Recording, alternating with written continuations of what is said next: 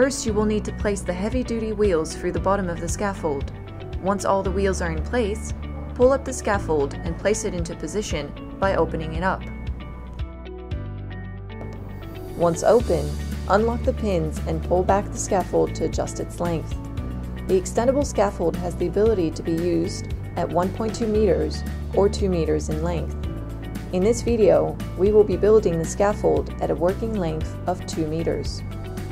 Once you have the scaffold at 2 meters, lock the pins back into place to secure the base frame. Adjust the extendable brace to the correct size and lock in the safety pins. Place the horizontal brace by clipping and securing it onto the first rung. Push the platform through the second rung of the scaffold frame and lock it into place.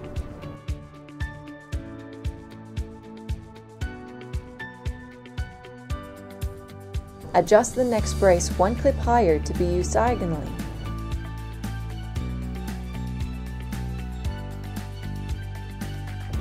Clip the brace onto the rung fold by another diagonal brace all the way to the top of the base frame.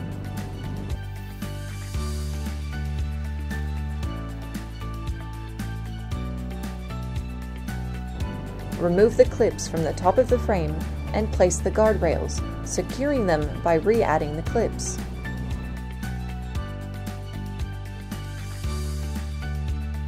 Add the horizontal braces that are used as a top and handrail for added safety to the guardrails.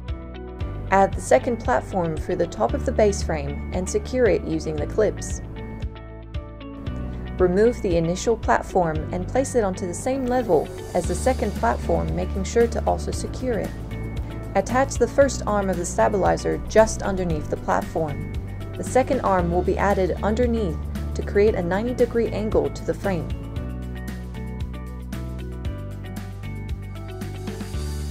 Adjust the leg as required to secure it onto the floor.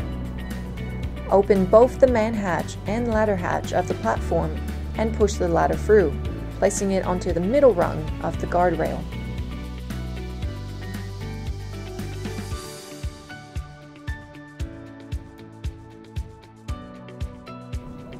Adjust the size of the ladder arm by undoing the clip and then reclipping it once it is secured onto the frame. Climb the ladder through the ladder hatch and secure the toe boards into place around the platforms.